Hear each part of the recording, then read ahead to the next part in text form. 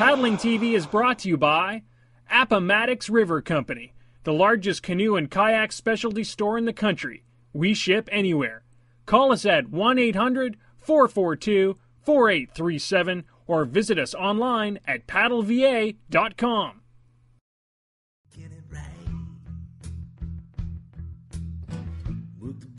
The stationary bow draw is a stroke that only works when you have forward momentum.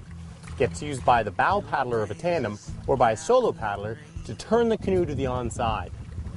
The stationary bow draw gets planted in the water just ahead of your knee with the shaft held as vertical as possible and with your torso rotated to face the paddle. Both arms should stay lightly bent with your shaft arm's elbow kept close to your body and your control hand held out in front of your forehead. Now turn your control hand slightly so that your thumb points towards your forehead. The power face of your paddle should now face the bow of your canoe. Although this won't do anything if you're sitting still, when you're moving forward, the power face will catch a lot of water, so make sure you're ready for that force. By holding fast and not letting your paddle get pulled away from the canoe, you'll cause the canoe to turn towards your paddle.